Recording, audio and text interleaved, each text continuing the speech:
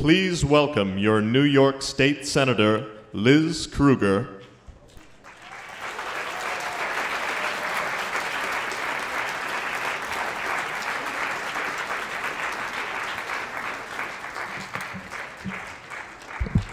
Good afternoon, everyone.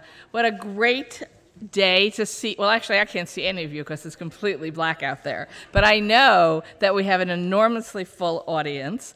And I just quickly, in addition to um, welcoming you here to the inauguration for City Council member Ben Kallos, I'm sure you all knew that was why you were here. Um, you are welcome to take photos and use your mobile phones to tweet at Kallos, but we do ask you to silence your ringtone. Now, I am also delighted to announce that even though you also can't see them, um, we have been joined by new council member Mark Levine, who I know will have to run out of here to his own inauguration. So we're so glad to see him here today. And thank you very much for coming. Say a few things about Ben. I'm hoping that all of you already know Ben Kallos. He has been your council member for a very short time but he has been with us in the community for an extensive number of years. I first got to know Ben when he was the chief of staff for Assembly Member Jonathan Bing. My Senate district, in fact, runs through quite a few Assembly and Council members' districts, so I got to know and work with Ben first when he worked with Jonathan, and we saw right away what a innovative, progressive person he was how committed he was to resolving issues for the community in Jonathan's district and how big picture his ideas were for legislation and for the city and state of New York. Then after he left, I had the opportunity to work with him when he joined an organization called the New Roosevelt Institute, working with a visionary Bill Samuels, and you will soon be meeting Jonathan Bing and Bill Samuels later this afternoon, um, but getting to work with Ben as he was working with Bill to come up with truly creative public policy solutions for some of the biggest problems facing New York State.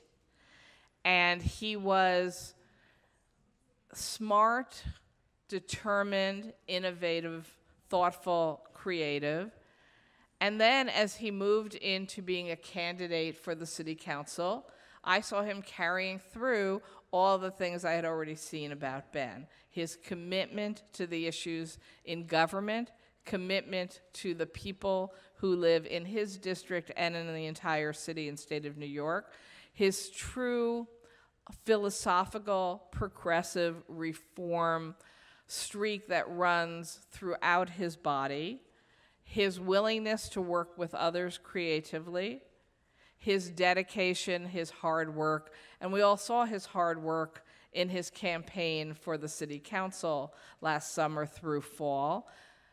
And so, for those of you who've only recently gotten to know him, or even for those of you who may, who may not know Ben yet, please take the time now that he's our city council member, not only to get to know him, to let him know what you need, to offer to help him accomplish the goals that I know he has set for himself.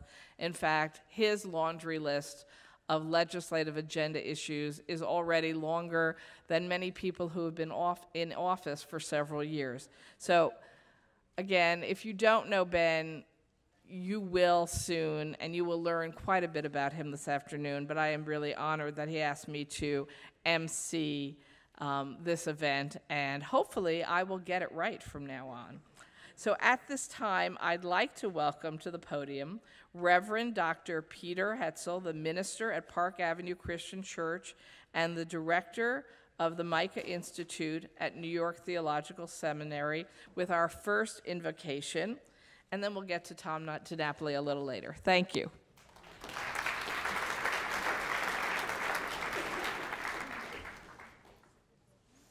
Good morning. Let us pray. Gracious and loving God, this is the day that you have made. Let us rejoice and be glad in it. Today we rejoice in the inauguration of Council Member Benjamin Kallos, whom you have raised up on the east side to lead District 5 at a time like this. He has a great heart to educate our children, house our homeless, care for our seniors, and energize the entrepreneurs to build our economy and bring beauty to the world. Please give him wisdom and grace in his governance of the East Side. Bless him with good health, a loving family, and faithful friends. As Elisha play, prayed to God and his mentor Elijah for a double blessing, I pray a double blessing on Council Member Kallos. Bless him with prophetic courage during this service of not one, but two terms. Give him your love, O oh God, to love those in his district. Give him courage of the prophets of old, like Micah and Jeremiah, to stand up for the homeless, hungry, and hurting in our city. Give him the creativity as he continues to support the work of the Cornell NYC Tech Center and supports the work of entrepreneurs and actors and artists. And God, when he goes through the valley of the shadow of death, give him heart to embody the words of the prophet Jeremiah, who said, Keep your voice from weeping and your eyes from tears, for there is reward for your work. There is hope for your future. Your children shall come back to their own country. Oh God, inspire and empower Benjamin as he leads us to grow and repair and heal our beloved city, bringing healing and hope. We pray this in the name of the God of Abraham, Isaac, and Jacob, one God, mother of us all. Amen.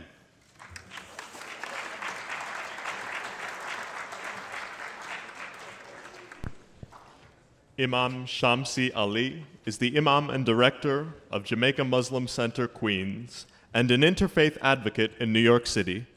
Recently, he co authored a book with Rabbi Mark Schneier titled Sons of Abraham Issues Divide and Unite Jews and Muslims.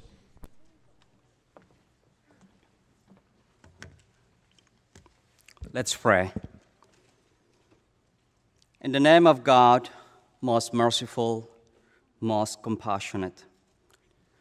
We praise you, God, and we thank you for the uncountable blessings and continued support and help to face the many challenges lay ahead of us. We thank you in particular for the opportunity given to the Honorable Councilman Kells to serve our great city. Take his hands, guide his heart and mind with wisdom to serve this city better. We pray as a nation that we may continue to honor and embrace our diversity and differences, even as we more deeply touch our fundamental unity. Enables us, God, to inspire one another with our potential as individuals and as a nation, that a new spirit of caring, love, and reconciliation be born in our nation. Our Lord, we truly humble ourselves, asking you to protect our nation. Enables us, uh, enable our nation to be an effective instrument of world peace.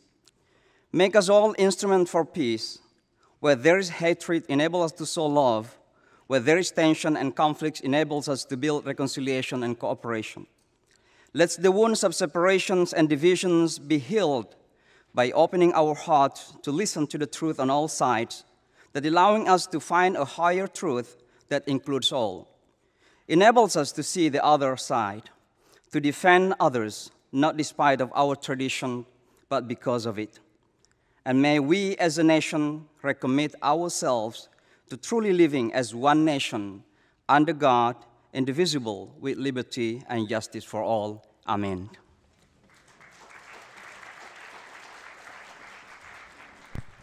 Please welcome Rabbi Harold Einsiedler, a rabbi at Park East Synagogue and Talmud instructor at the Rabbi Arthur Schneier Park East Day School.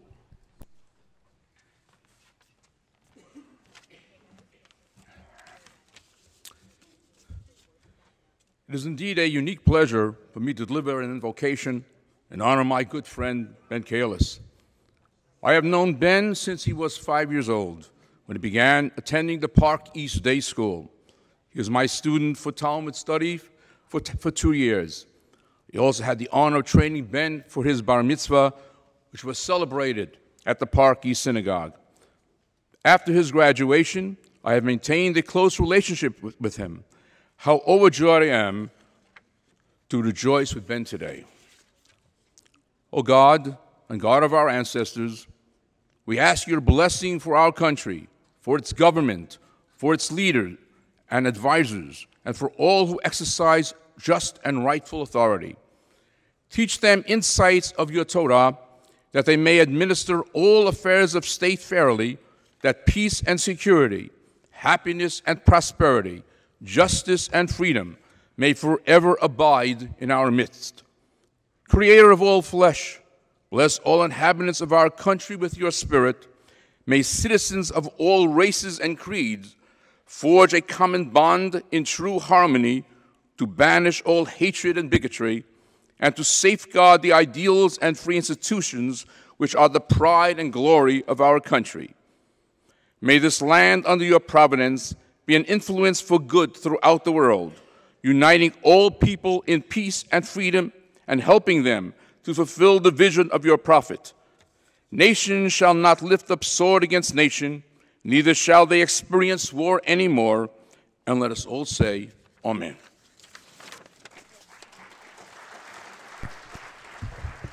Ladies and gentlemen, please rise and welcome East 86th Street's own Talent Unlimited High School Men's Ensemble with our national anthem.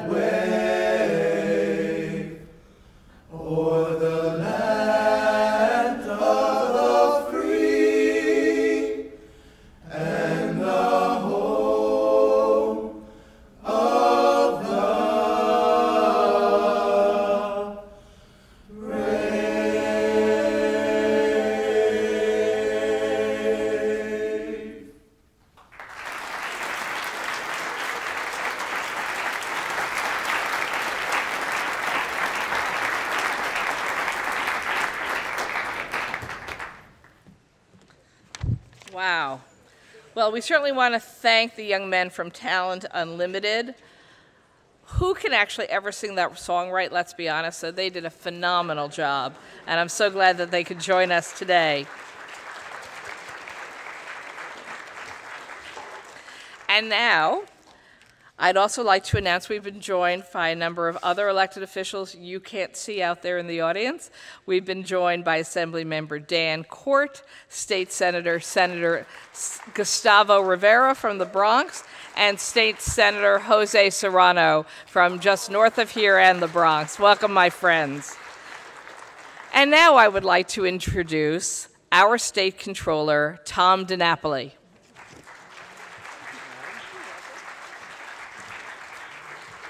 Good afternoon, everyone. Isn't it great to be here for our new council member, Ben Kallos? Let's give it up for Ben. Now, I'm sure you agree with me. We're all involved in many uh, electoral efforts, and uh, we love to see when good people ascend to public office. But I'm particularly pleased that Ben was successful in his race because, you know, he's already proven himself as someone who can make a difference. He's been a fierce advocate on the important issues that are facing our city. I got to know him with his great work on behalf of the New Roosevelt Initiative, really focusing on reform and change, systemic changes that can have a lasting impact. I know in this era of, uh, a lot of change and promise that we have here in New York City, that we can have an extra measure of confidence that with Ben in the ranks of the City Council, despite the challenges that are out there, in fact, we're headed for a better and a greater day in our city and in our state. Uh, Ben's hardworking, trustworthy. He's uh, worked with some of the legends in our political world Mark Green, Jonathan Bing, Bill Samuels, yeah, they're all legends. They deserve a round of applause. And Ben's going to take those great experiences that, that he's learned and working with all the elected officials in, on the east side and beyond that he's worked with already. And I know he's hit the ground running. He is going to be one of the leading voices on our city council. He's going to make sure that New York City continues to move forward. And, you know, when he won, it just gave me a moment to pause and say, you know, for the cynics out there that say good, honest people aren't looking for public office these days, they're sitting on the sidelines, to see someone with that youth and enthusiasm and talent that Ben brings to the table, that he would put himself forward and the people would respond, that gives me confidence in our democracy and in the wisdom of East Side voters once again.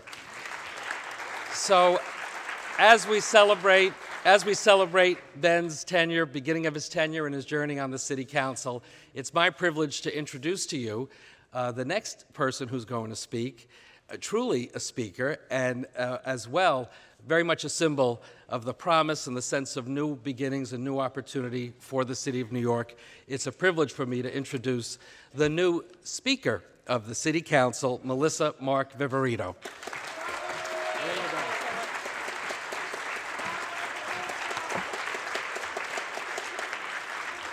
Well, good afternoon, everybody.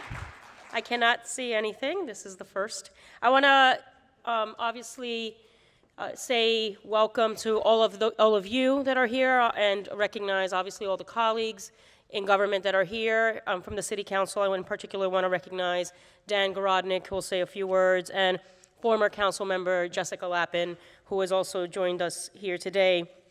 I just wanted to say a few words on behalf of the City Council uh, to really congratulate Ben and his family and all of you that helped get him elected. And I thank him very much for his support in helping me become the president and the speaker of the City Council. Um, we have a lot of great work ahead of us. And knowing and getting to know Ben and having talked to him and understanding his passion uh, for many issues and things that some of us may consider mundane, uh, is very, very committed to making the New York City Council a better institution, to really be an incredible representative for this community, and to do that in true partnership with myself and all the other colleagues. So you have a great representative in Ben Kallos. I personally want to thank him for all that he has done and having come completely through the public education system of the city and the state um, he definitely brings a lot of experience uh, to the City Council. So ha have fun today, enjoy. This is a great place that we are in, the 92nd Street Y, not too far from where I live. Uh, and so I'm off to six other inaugurations, so I hope you all have a great day. Um, I'm going to introduce now the, the comptroller of New York City, Scott Stringer, our former borough president, who will say a few words. Good afternoon, everybody.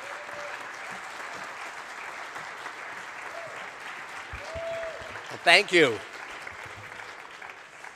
Thank you very much, and it's great to follow Melissa and to come here today to say a few words about Council Member Ben Kallos. That's pretty good. That sounds good, right? So I'm actually very excited about speaking here and about Ben's election for a couple of reasons. One, I think he's going to be a great reformer because his background is about transparency and good government. This is what he's made his life's work. He has he has a belief very strongly that government can work for all people, but he also believes that how we approach government is just as important, and he has a real professional track record on that basis. You know, for me, I've now been in public office for over 20 years.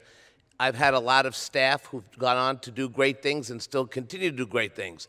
But I've never had a staff member, unlike Chuck Schumer and others, that actually wanted to run for office. And it's always bugged me that I have, as I get older, there's nobody to mentor.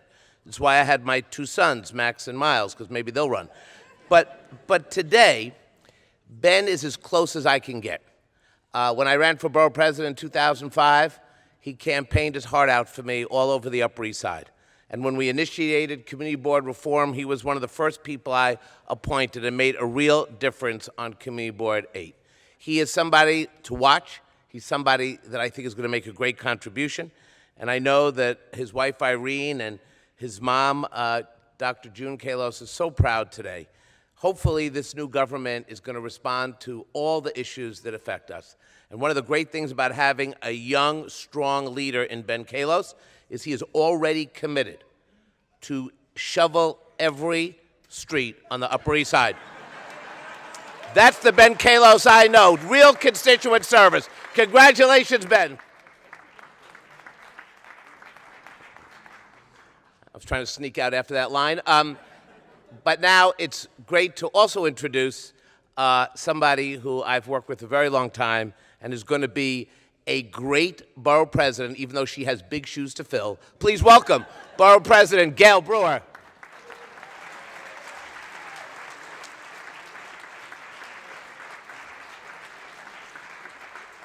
Thank you very much. It's a big honor to be here to talk about your new wonderful council member. And he is very special to me for the following reason. First of all, he's a strong supporter of all the work I've done on technology and he is the new chair of governmental operations, which is a committee that I chaired and love, and he'll do a great job. And he understands the real meaning of the word transparency, something that is good to talk about, but not everybody acts on. And he's already done that when he worked for Mark Green and he worked for Jonathan Bing as assembly member, and he worked for Bill Samuels, and he understands the meaning of how government really should be opened up. So he'll be a hard worker and an asset. But I have a really specific, uh, wonderful story about him. My husband and I were campaigning. We were at 86 in Lexington, a neighborhood you know well.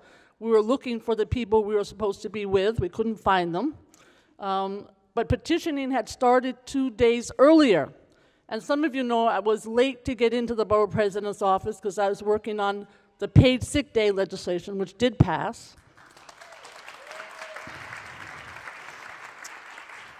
So my, my campaign was very slow to get started, and we were running around with those green sheets that you know so well. We hadn't gotten much underway. And along came the wonderful candidate at that time, Ben Kallos. He already had his sheets completed. He had done all the work. And that's because he's dedicated, he's smart, and he learned a lot as being a member of Community Board number eight. Is there anybody here from Community Board number eight? I know how hard I know how hard you work, and I know I look forward to working with you. So um, as the Manhattan Borough President, I look forward to working with all, all the Manhattan elected officials in particular, with all the community boards, and with all of you. But I know a special delight will be to work with Ben Kallos, who is going to be a great member of the City Council and will represent you well on government operations, technology, and just plain old hard work. It's most of all great to be here for Ben. And I love speaking at these little ceremonies because they are just so, so significant of what our country is all about and what our city is all about. And I first want to say that uh, I know Ben a little bit because Ben was an intern in my office in Buffalo. So I know you're getting someone really good. Now, he grew up in this area, as you know, uh, went to local schools here, Rabbi Schneier Day School, and then he I guess he's smart because he got into the Bronx High School of Science. He earned his SUNY, uh, his degree at bachelor's degree at one of our great New York State SUNY schools, SUNY Albany, Earned his JD at the Buffalo Law School. That's where he interned for me. And he always cared about his community and about politics. He worked for the Democratic Party. He created something called votesearch.org, which helps protect uh, and allow people to vote. He worked for Assemblyman Bing and helped uh, improve bus service, uh, toughen crane regulations. Then he had a great job as policy director for Mark Green um, and was a member of Community Board 8 and co-chair of the Communications Committee. So this guy knows the district, knows politics. He is going to be a great assembly, a great city councilman. He would have been a great assemblyman too, but he ran for the council. And so first and foremost, it's a great day for Ben.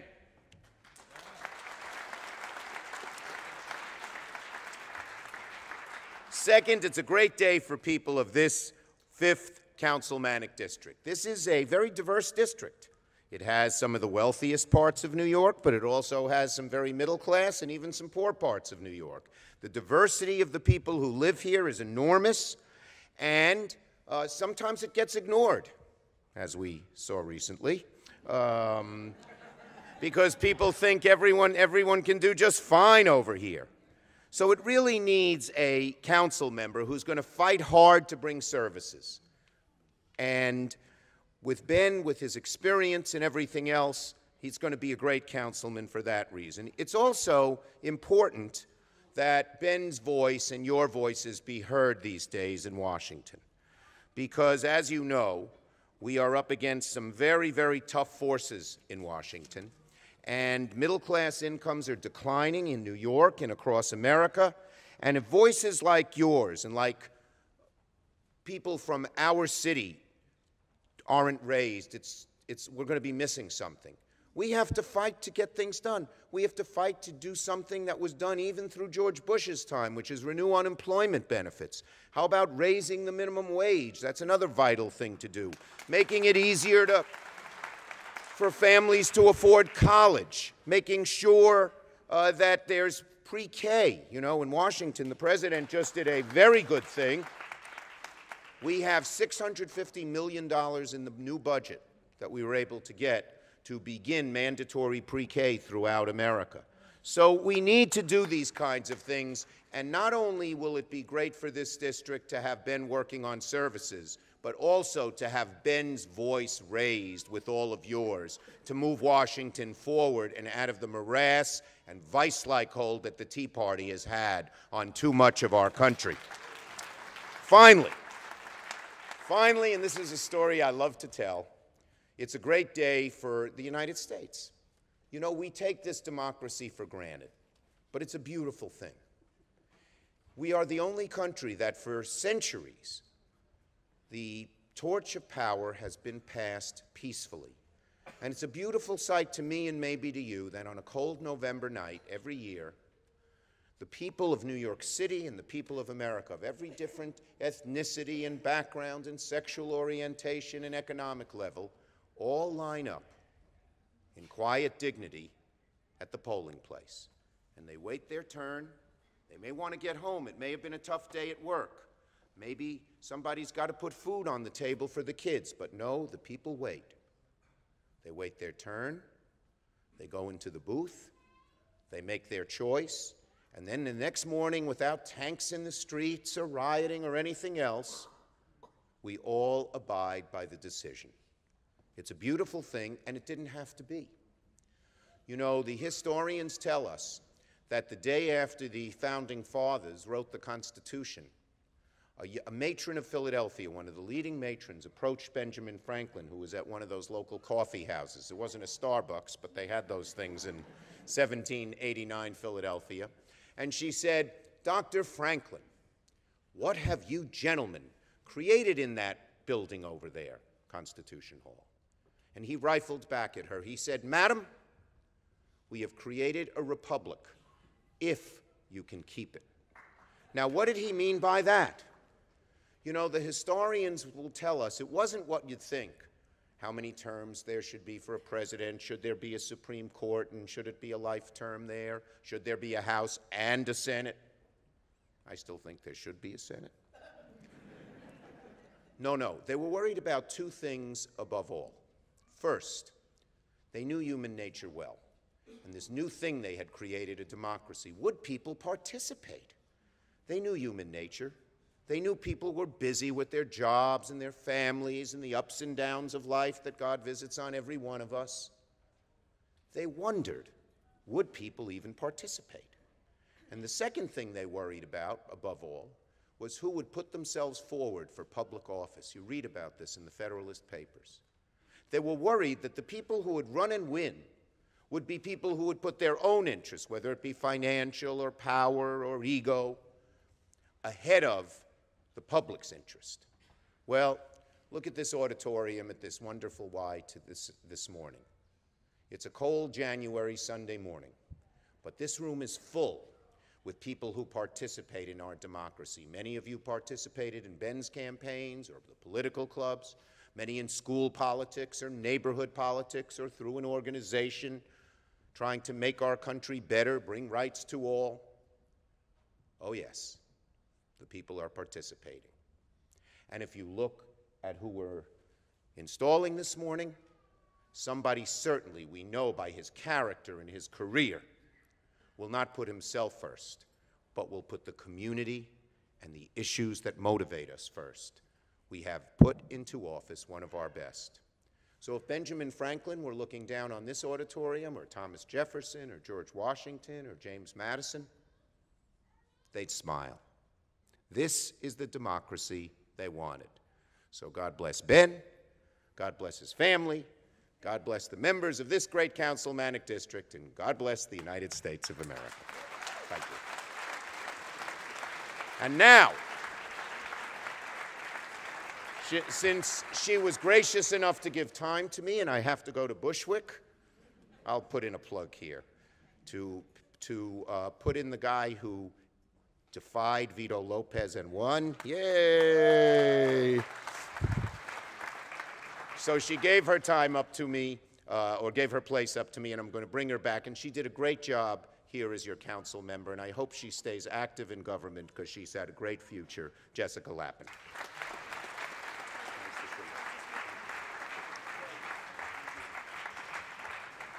Well, good afternoon. Uh, it is wonderful to be here. I always feel at home at the 92nd Street Y. And to be able to spend just a couple of moments with all of you this morning at this very exciting event. Uh, one of the things I learned having the great privilege of representing this community in the City Council for eight years is that this city is really made up of tight knit communities and neighborhoods. And nowhere is that more evident than here on the East Side. And the community leaders and activists, all of you who are here today, who work so incredibly hard as volunteers, made my job so much easier, so much more fun, uh, and really uh, more productive. And so I want to thank you for the great partnership that we had accomplishing some great things. And when I think about uh, what the future holds for Ben, uh, I am very optimistic and hopeful. One, because I know he's going to have the same support and partnership from those of you who are here today, but also because he's smart and tenacious and hardworking and honest, and he's a true believer. And we need true believers in government. Uh, and I certainly truly believe in him. So I wish him the best. Uh, I want to congratulate him and his new bride, Irene, and uh, she deserves a round of applause too. It's uh, not easy for political spouses and for all of his family uh, who really stood by him. There are tough days when you run for office, there are tougher days when you're in office, but having that kind of love and support around you is incredibly important, and Ben is blessed with that. So, congratulations to him, to his family, to all of you. Uh, it's going to be a really great four years. Thanks.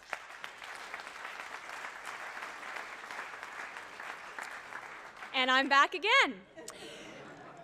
So, for 25 years, Francis Patrelle has been bringing professional dramatic ballet to our community.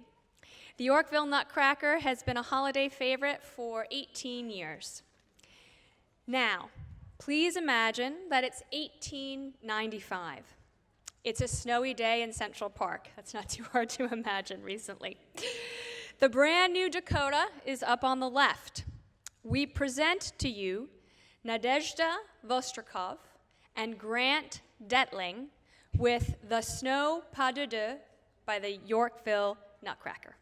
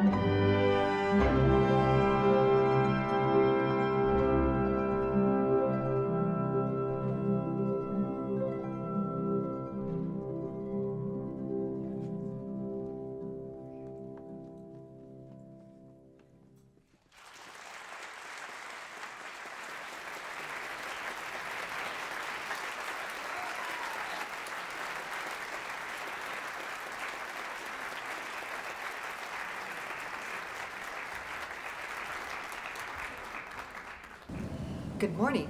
As many of you know, I'm in Poland now as part of a U.S. delegation to the 69th anniversary of the liberation of Auschwitz. Uh, it's a historic event with the legislators arriving from 15 different countries. I wish that I could be with you, but I can totally with you in spirit. and I join you in congratulating Ben and his family on his election to the City Council.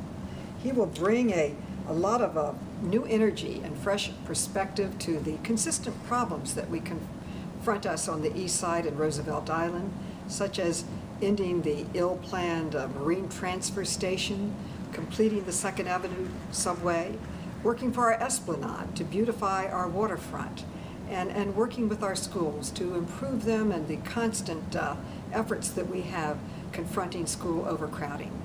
Uh, he will be a creative uh, force on, on the problems that we confront and will be a strong voice uh, for our neighborhoods and for the quality of life and improvements that we need on the east side of New York. I'm looking forward to working with Ben. We've already formed a strong partnership, uh, working together on, on many issues, and I know that he will uh, be an outstanding member of our City Council. I give him my best uh, wishes, my congratulations, and my friendship.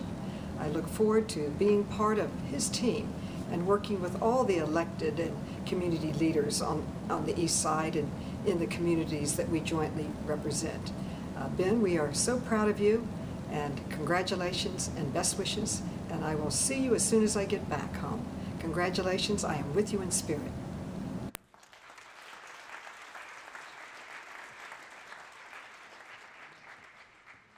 Hello again. Well, we've had quite an impressive group of speakers, and we've barely started.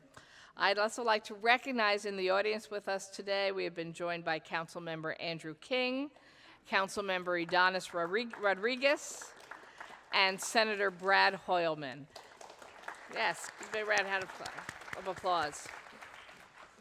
And I believe we are all competing today with seven inaugurations throughout New York City. So the fact that we are getting so many of the celebrities in Democratic politics um, is an honor to our new council member, Ben Kallos.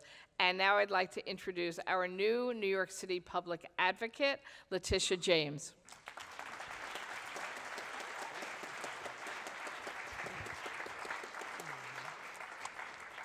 Thank you.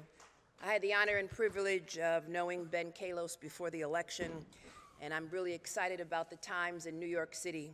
They're transformative times. Ben is a reform minded individual, a very progressive individual, someone who is mission driven, and a courageous individual who has now stepped out of the shadows and into uh, the spotlight. I look forward to working with Ben as we seek to overturn Citizens United recognizing that all votes are equal. I also look forward to working with Ben as we enact campaign finance in New York State. I also look forward to working with Ben as we address income inequality, particularly as it, as it relates to the feminization of poverty um, focusing on pay equity so that women are paid their fair share in this state. Providing quality pre-K as well as focusing on school overcrowdedness in the city of New York.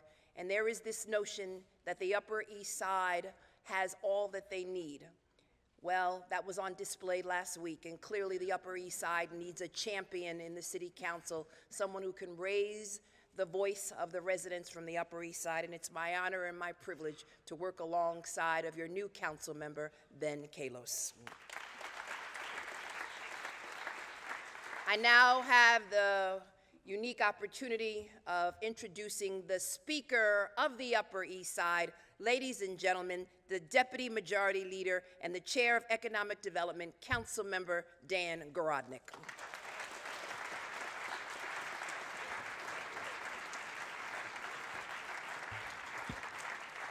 Well, thank you very much, Tish, and good afternoon, everyone. It is so good to be here for what must be the fanciest inauguration that I have ever attended.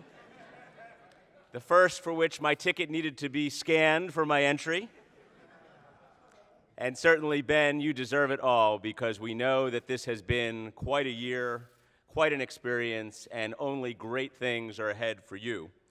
You all should know I had the privilege of meeting Ben a number of years ago when he served as the chief of staff to then Assemblyman Jonathan Bing.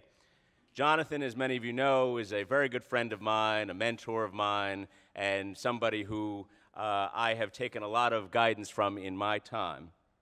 And I was able to see immediately that Ben was a serious and committed public servant, somebody who was committed to process, who was committed to good government reforms, committed to better transportation options on the east side of Manhattan and beyond.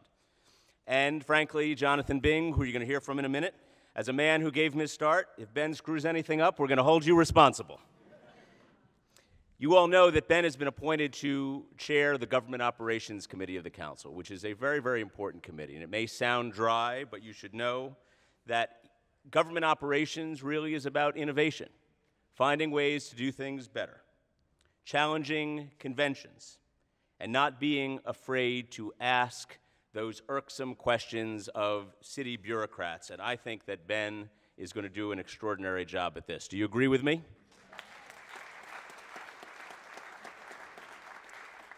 And you should know that the east side lines, the 4th and the 5th council districts, they're rather illusory. They somewhere hit you at 2nd Avenue or Lexington Avenue. Ben is on the east side, I am on the west side of that line. I've had the great pleasure of working with council member, Jessica Lappin, over the past eight years. She has been a, a, friend and a true partner in everything we have done. So, for the, all of you who are here who live on one or the other side of that line, you should know that Ben and I will continue that great tradition in working together and making sure that we deal every day with the problems of the people who sent us to these jobs. Lastly, I will say, Ben, I, am going to give you some advice, which I'm sure you already know. I, it is incredibly important here that you treat this job with the honor that it deserves, that you wake up every morning grateful for this opportunity, and with all of the excitement of being a legislator down at City Hall and the opportunities in innovating in government, you will never forget that what really matters is the people who put you in that job in the first place. And I know, I know that you feel that in your core, and so I really look forward to working with you. So, congratulations to Ben, and looking forward to the next four years.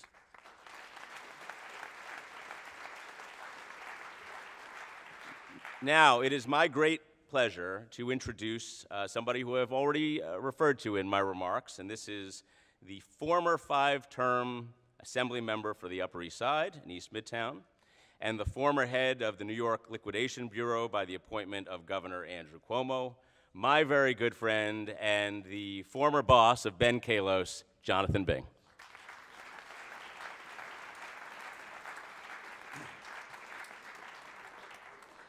Good afternoon. Thank you, Dan. You have a future in this business, I think. Um, welcome, family, friends, elected officials, and other notables. Thank you for being here today to celebrate the inauguration of Ben Kallos. I was very lucky to have five excellent chiefs of staff during my tenure, uh, three of whom I expect are in the audience uh, here today Julie Hendricks, Keith Powers, and Jake Delamani, along with Ben. Uh, and I'm very proud that Ben Kallos now has the opportunity to achieve this success as an elected official in his own right. When I campaigned for Ben or sent emails to a few thousand or, uh, or, or sent Dear Neighbor letters to a few thousand uh, uh, constituents on his behalf, the most frequent reaction I received was, Don't ever write me again and take me off your list. but the second most frequent reaction you know, if you've ever campaigned on the east side, you know it's, it's probably one of the most difficult places to campaign in the city. And the, the last time I ran, I was called a communist by one person, a fascist by another person, and an acolyte of the speaker by another person. Only on the east side of Manhattan do people use SAT words when they yell at their elected officials. The second most frequent reaction was how impressed they were by Ben, how knowledgeable he was on the issues, and how sincere he advocated for reform. I don't think I know someone who has achieved elective office at the most absolute perfect time for him or her than Ben. He has the experience, intelligence, and drive to be an excellent council member. As importantly, especially now, Ben is someone whose ethics and character can never be questioned. As a person whose advocacy helped bring the New York State Assembly into the 21st century in providing access to legislative information online, there could be no stronger selection by, by Speaker Melissa Mark Viverito to head the Government Operations Committee than Ben. Ben was involved in some of the most important uh, successes during my tenure. As a result of his leadership, I was able to author laws during, uh, to improve crane safety in the wake of the 2008 crane collapse in our community and help ensure that victims of domestic violence uh, do not unfairly lose custody of their children. He also drafted impressive legislation to provide grants to small businesses along the Second Avenue subway construction zone and improve bus service in our neighborhood. He will be a fighter for the businesses and residents along Second Avenue, as well as those who have long fought against the reopening of the Marine Transfer Station. When, when Ben enter, entered the council race, few gave him a chance, but he achieved victory by being himself someone who is knowledgeable about the community and legislative issues, someone who cares about the neighborhood because that's where he was raised, someone who is destined to be an elected official of whom his constituents can be proud. While his and my roles are now reversed, he is the elected official and I am the constituent. What remains always is my respect for him, how he conducts himself, and the success which he has always uh, achieved as his destiny. I know that he will do great things because he has already done them and I look forward to seeing what he will do in the New York City Council. Congratulations.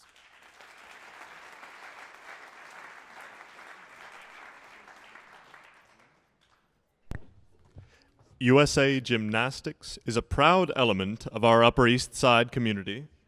We hope that you will have the opportunity to visit the 92nd Street Y's brand new gymnastics studio in the sky to learn more about recreational and competitive gymnastics for children and adults.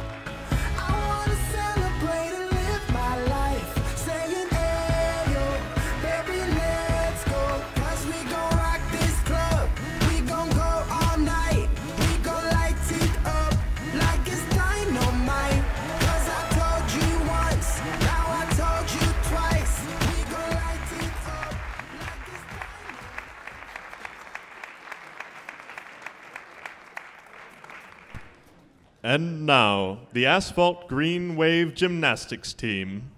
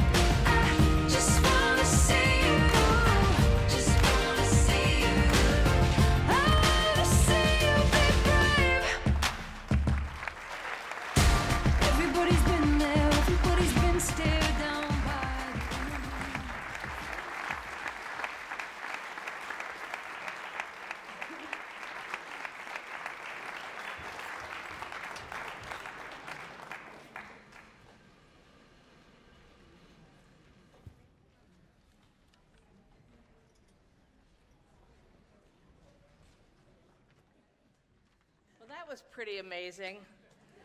I don't know about any of you, but now that there are lots of channels who follow the Olympics, I'm always fighting with my husband because I want to watch the women's gymnastics.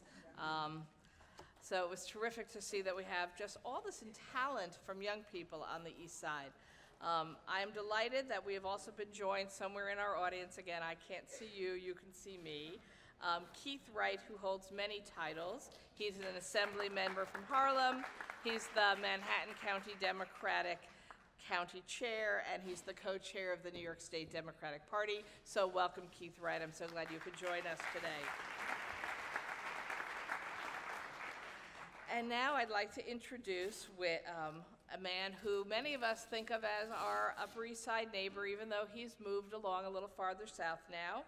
Um, he is the author or editor of 23 books, New York City's first public advocate, previously an employer of our new council member, Ben Kallos, and currently hosts the weekly national radio show, Both Sides Now. Let's give a big welcome to Mark Green.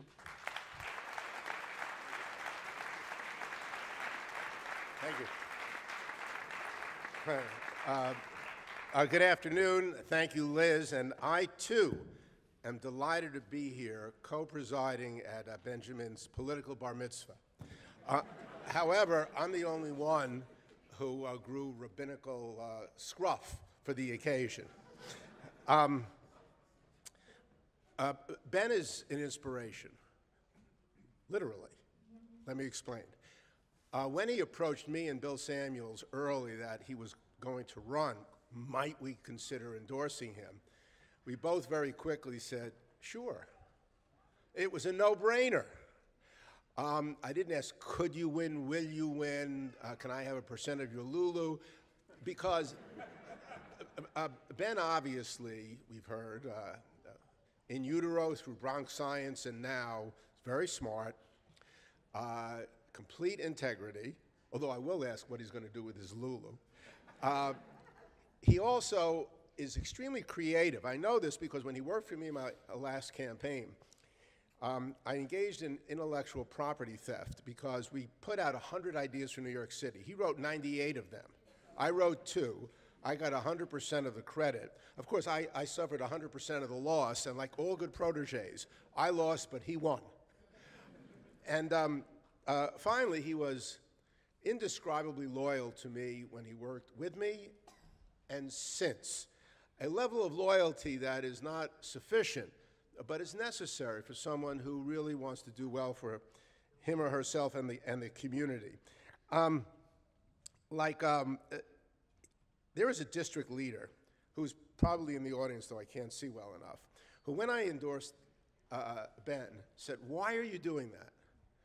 I said, Well, um, you know, he, he's a quality guy, and uh, the community and the profession deserve that. He said, but he can't win. I said, well, you may be right, but if you don't swing, you don't hit. And the only way to know and prove that he can or can't win is to try. No one is, is worse off. Uh, basically, virtue should not be its own reward. Ben is virtuous, but we want as many, as Senator Schumer said, virtuous people running. Ben is one more thing that is world class. Um, uh, people don't uh, uh, appreciate this enough in public people, but they're very hardworking. You don't get there on looks alone, as I proved. Benjamin Kallos is as hardworking as a Schumer or John Liu, and that's a level that cannot be exceeded. It can only be approached. And this constellation of ability and integrity and smarts and loyalty, some people have some of that, but very few people have all of that. And when uh, Benjamin asked for support and help throughout, all I could think of was something that Justice Felix Frankfurter once said of a young associate, a clerk of his, named Bill Coleman, who later, uh, after the 1930s, went on to become the first African American uh, cabinet secretary, a Republican. And he said of Coleman, I'll bet on him. Well, I'll bet on Ben Kallos, and it is a bet that has now and will pay off for all of us. He'll be a credit and leave a legacy for his family, his community, and his city. Thank you very much.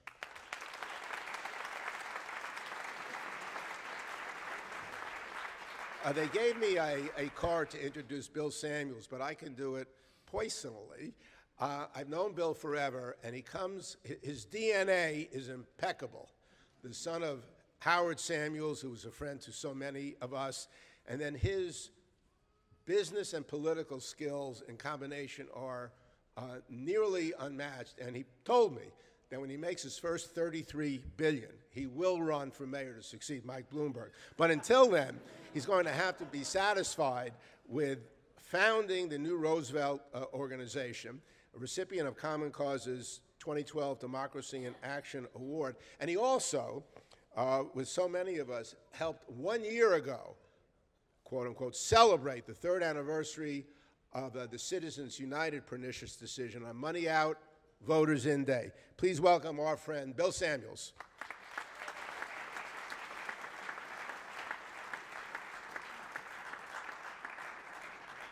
All I can say is, wow, this is the best program I've seen in ages, and I'm really sad it's going to end. First, I'd like to make a comment about our master of ceremonies. Liz Krueger, to me, is one incredible leader. She is by far the best representative we have in Albany. And Ben, I think you're down there somewhere. If you could have half of her integrity and half of her vision, you will be a great success. So, Liz, thank you. Now, I don't know how many of you looked at this picture. I'll tell you what I see. I see this eager, enthusiastic, idealistic young man. And when he walked into my office, that's exactly what he looks like. And that is the earnestness that is Ben. And as we did our little bit to change those crooks up in Albany, probably does not want you to know. He has something extremely similar to our new mayor, and that's why they're going to get along. Ben, do you know what that is? I'll tell you what it is. He is never on time. but to be a public servant and do it well takes a few characteristics. One, you have to really have empathy. When you go out in the community and you see people in need, you got to feel it. You got to really feel it. When you meet a businessman that has a really good idea to help our community, you got to think, how can I help him? Two, you have to have vision. You have to be creative. You have to figure out, how can I make my contribution? And lastly, you have to have the ability to express that vision so it motivates people and gets them enthused to get something done. I can tell you, it was a pleasure to have Ben work with me, but I tell you, it's a pleasure to have him as our city council person because he is dedicated to being a great public servant. Thank you.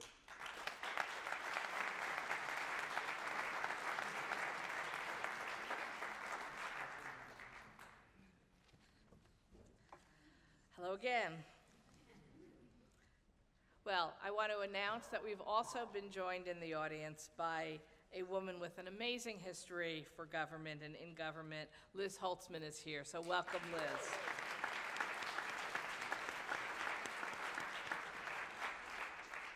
And now I'm pleased to welcome to the stage Elsbeth Ryman, a member of the Stanley Isaac Senior Center and community leader, who will be reading First They Came by Martin Niemöller. But I also want to mention that Elsbeth has been a very dear friend of mine, and anybody who has ever run for elected office on the east side of Manhattan knows that if you can get Elsbeth's support, you're going to win your campaign. So it's wonderful for many reasons to be joined by Elsbeth.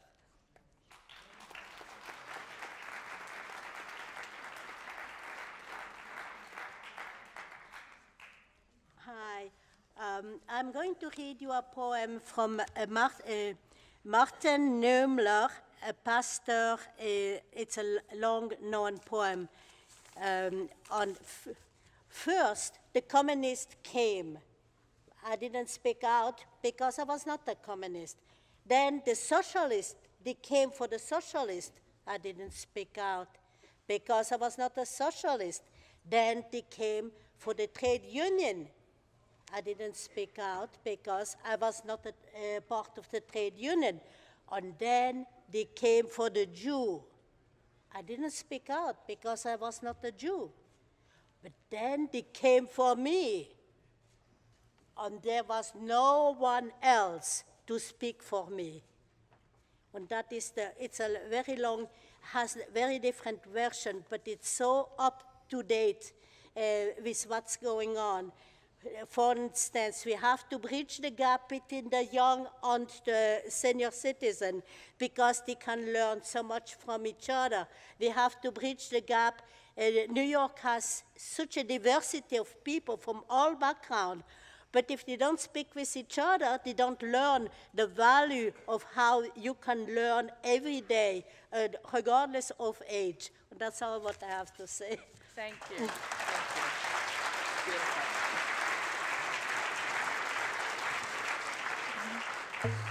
Bringing life to poetry.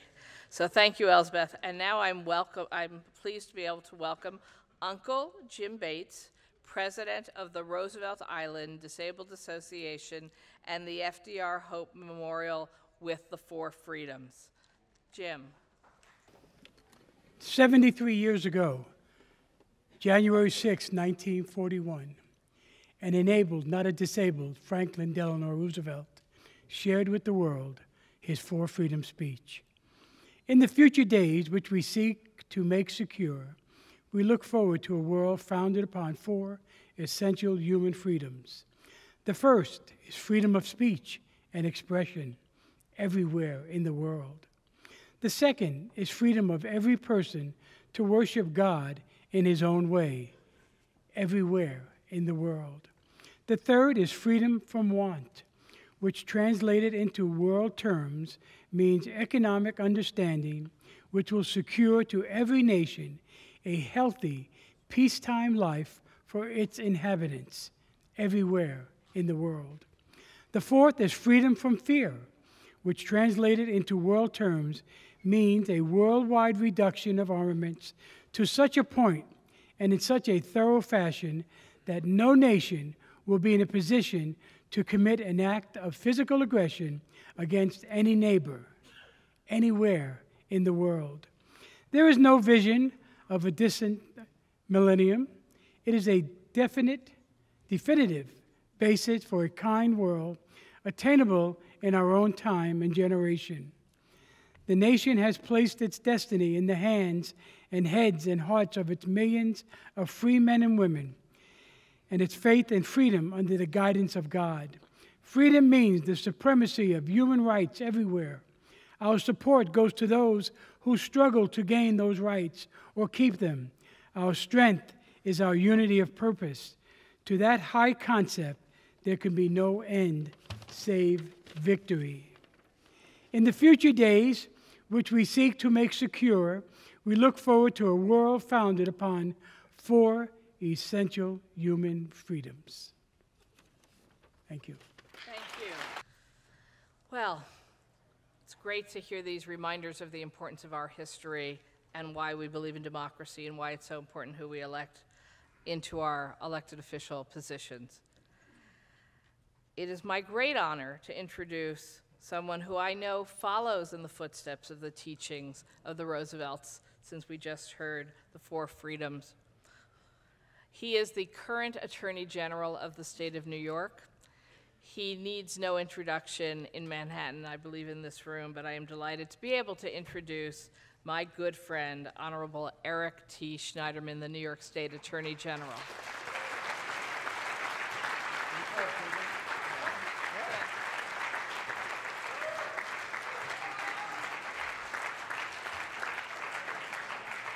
Thank you, and thank you to my good friend and a true warrior for justice, uh, Senator Liz Krueger. Um, ladies and gentlemen, it is really an honor to be here with you today. Uh, I hear a lot of complaints from folks who say, How do you get really smart people with a lot of integrity to run for office? Well, some people just show up and it appears to be inevitable that they are going to run for office, and Ben is one of those people. I've gotten to know him in since I've known him, I think I've seen him in four or five different positions or working on four or five different causes. He's sort of a one man good government group, a one man legal action center, a one man progressive political committee. And in the short period of time I've been working with him, and short relative to my decades of, of doing this stuff, uh, he has shown himself to be one of the brightest, most creative, most energetic people representing the heart of what democratic politics is supposed to be about. He understands the notion of equal justice under law. He is that kind of a lawyer, and he's brought that understanding to bear in every aspect of his work. And now we are honored and we are fortunate to have him come into public service as a council member representing the 5th Council District. Um, I know that uh, he's following in the footsteps of Jessica Lappin, a good friend and a great council member. He has worked with some of the best and brightest people already in politics. He seems to have a nose for um, finding people who are not just smart and creative, but are also willing to put it all on the line for what matters. This is not someone who is going to tack to the wind and play it safe. We have too many people like that in American politics. What we need are more people like Ben Kallos, and it is my honor now to call him up to be sworn in as a member of the New York City Council.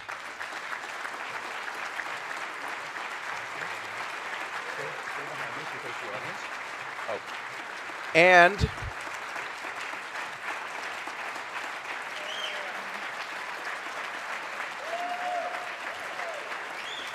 left hand on. Left hand.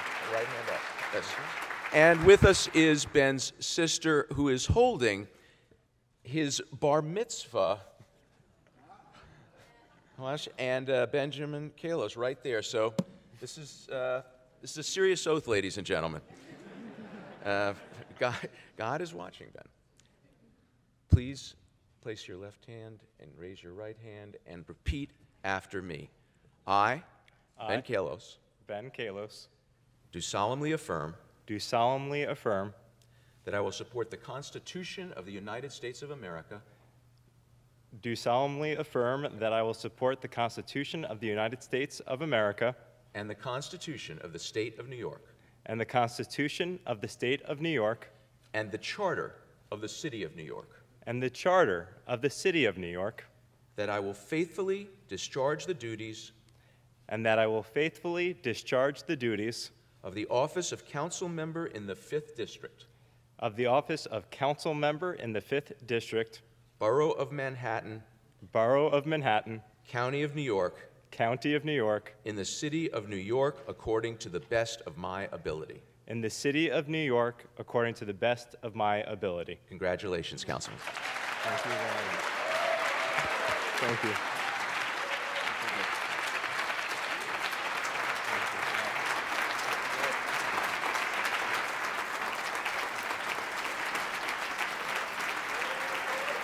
Thank you.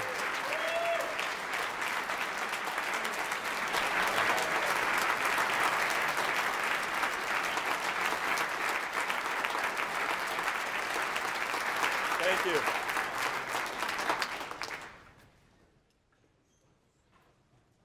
Thank you for joining me today for this inauguration, which we have dedicated as a celebration of our community and of one another. We are a bastion of culture and diversity that stands together in unity as one council district. There are many people to whom I owe profound gratitude. My wife has been my rock and constant source of support. My mother, who raised me as a single parent, sent more than 15,000 letters to her neighbors asking them to vote for me. And from what I've been told, it's the only reason many people did. My family and friends, those that immigrated here to escape anti Semitism, those that couldn't be here today, those that have given me unconditional love and support through the years, mentors who have prepared me for this undertaking, new colleagues in government, in the City Council, and especially my friends in the Progressive Caucus, working families with whom I have fought and will continue to fight for a living wage for all New Yorkers.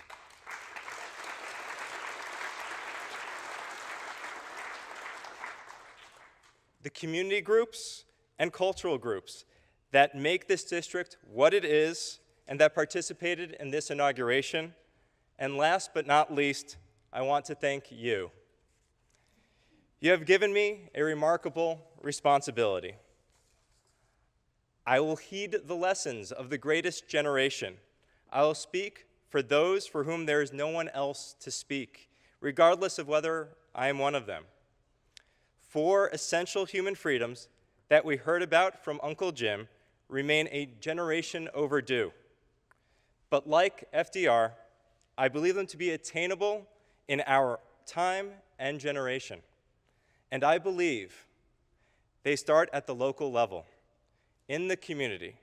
I will focus on freedom from want to ensure a healthy peacetime life for inhabitants, a living wage for all, so that we may eliminate the ever growing gap between the haves and the have nots in hopes of unifying our great city.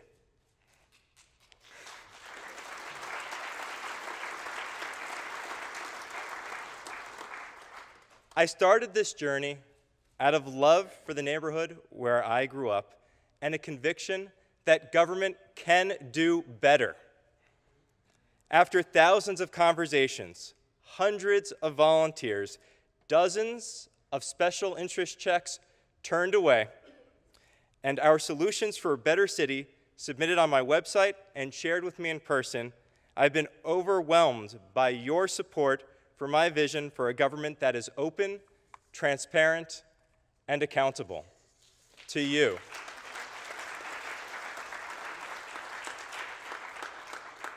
In the City Council, I'll be chairing the Government Operations Committee in order to help make that vision a reality.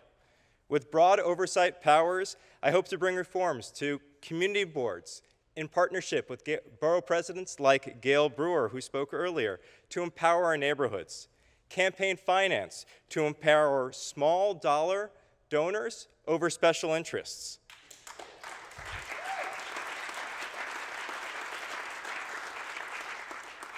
The Board of Elections to enfranchise more New Yorkers so more people actually vote.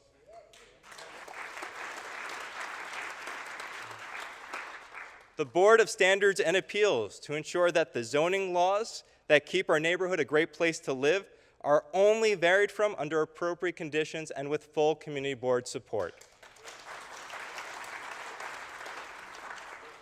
Our mandate will be to make our city's operations more efficient at seamlessly serving you. This city council office belongs to the community, and I am just its steward for the time being. That means that your hopes and needs will shape the actions that we take and the battles that we wage. I am confident we can make real progress on the important issues in this neighborhood because we'll be working together. Join me for First Fridays, where we'll be meeting monthly in person to discuss what issues are important to you. The next one is Friday, February 7th from 8 a.m. to 10 a.m. in our new district office at 244 East 93rd Street, just off 2nd. It's in the old Weight Watchers where we can help you with almost any problem other than losing weight. If getting to my office is too difficult, you can call me at 212 860 1950, or we can bring our office to you with mobile hours in your closest community center. You can visit benkallos.com where we have over 100 solutions for a better city that you can vote on, comment and improve upon, or suggest your own. We have our work cut out for us, and I will need your support to get it all done. Please consider leading or joining a policy committee on education, senior services, transportation, environment, or propose your own. I graduated from the Bronx High School of Science and believe every child is entitled to the same world class education. But,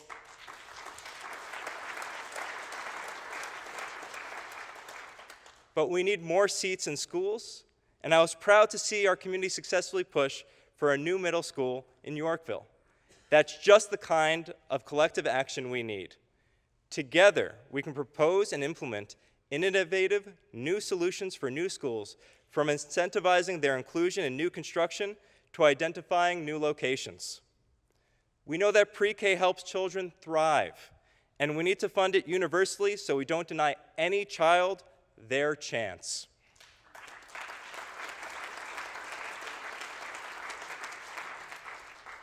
We have a generation of young people who, for the first time, expect to be worse off than their parents.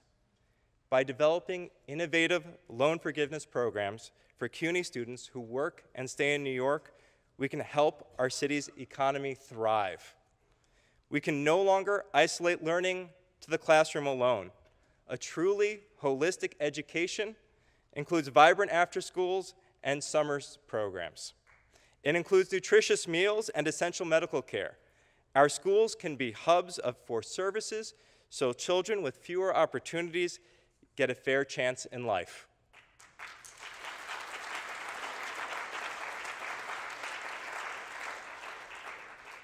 My mother is a senior who lives in the district. I am committed to keeping senior centers open, protecting vital services like Meals on Wheels and health care so that seniors and their caregivers can remain healthy and independent.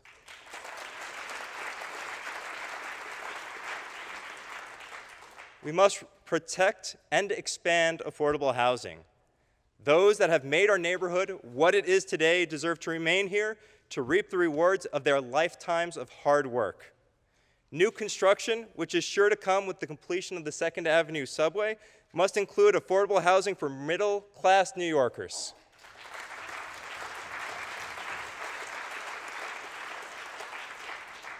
If we do this right, even I will be able to afford to live here. I'm taking over this seat from Jessica Lappin, who did an incredible job for all of us. That means there will be one less woman in the City Council. But I have joined the Women's Issues Committee of the Council and will keep equal rights of all New Yorkers at the top of my agenda.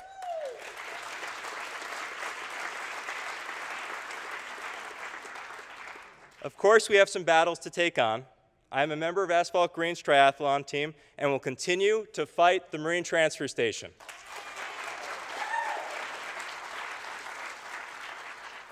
As we speak, I am working to build a broad citywide coalition with council members and community leaders in opposition to any dump in a residential neighborhood.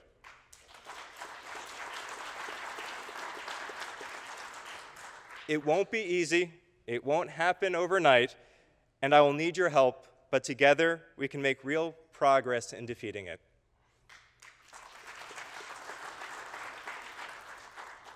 A lot of this depends on you. In order to create real change, we need you to join us in partnership. We'll have many opportunities in the months and years ahead for you to connect with us about what you are passionate about in the community. So please get involved. If we invest in each other, our time, energy, and compassion, our government can work better for all of us. Please join me because together we can build a better city. Thank you.